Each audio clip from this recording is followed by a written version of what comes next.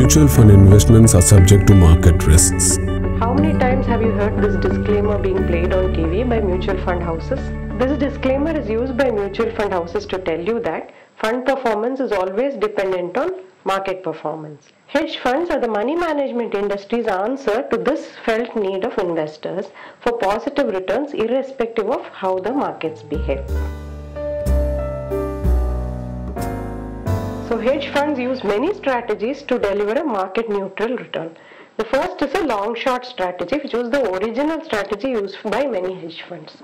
Basically, they take long positions or buy positions in some stocks and short positions or sell positions through the futures market and other stocks so that the portfolio will always have some buys and some sells outstanding.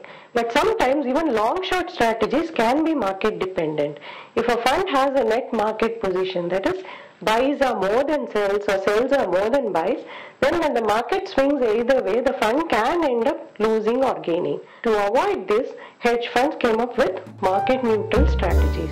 Funds try to avoid any net market position and keep it at zero. So any portfolio positions are hedged through underlying futures positions. A third kind of strategy is an absolute return strategy. So the hedge fund manager, based positive return will come the next year, may keep switching between asset classes in order to deliver a return.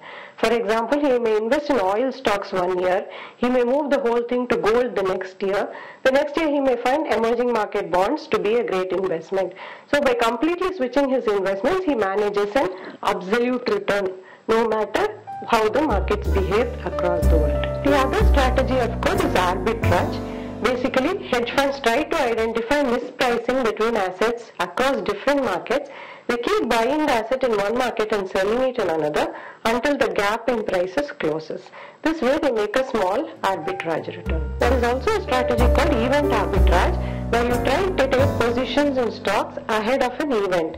Say if you know that RBI is going to cut rates, you take positions in Indian bonds and then make a gain out of it. Or if you know a large company is going to be acquired, you take a position in the target company and make gains with the stock price. So this is called event arbitrage. The other strategy which is quite popular nowadays is a strategy based on macros. So a hedge fund manager tries to predict how a country's GDP may move in a particular year, either growing or degrowing. Based on this expectation, he takes positions in stocks, bonds or currency markets. When the macros move in the expected way, he stands to make a big gain.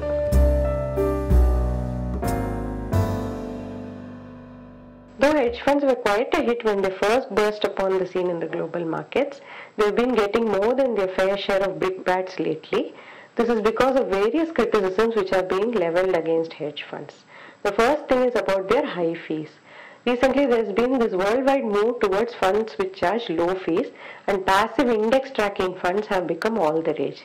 Whereas hedge funds, because they claim to use very special strategies, actually charge very high fees the typical hedge fee structure is actually 220. So they take 2% of the assets managed and 20% uh, of any profits that they make. The second criticism against hedge funds is that their returns tend to be very low. In the last three years or five years, actually most global hedge funds have only managed a single digit return, whereas most stock markets have easily delivered a double digit return. A third criticism that is leveled against hedge funds is that they are very opaque because most hedge funds claim that they use proprietary strategies they don't actually tell you where they are investing or what their strategies are going to be. A couple of years ago, the US SEC investigated Galleon Funds, a very large hedge fund run by Raj Rajaratnam. The fund made supernormal returns for many years SEC found that Rajaratnam made huge gains because he received insider tip-offs from a large circle of friends. One of these friends was Rajat Gupta, former boss of McKinsey. The SEC ended up convicting both Rajaratnam and Gupta for illegal insider trading.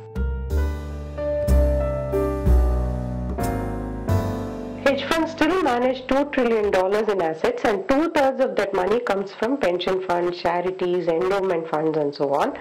So obviously they are doing something right.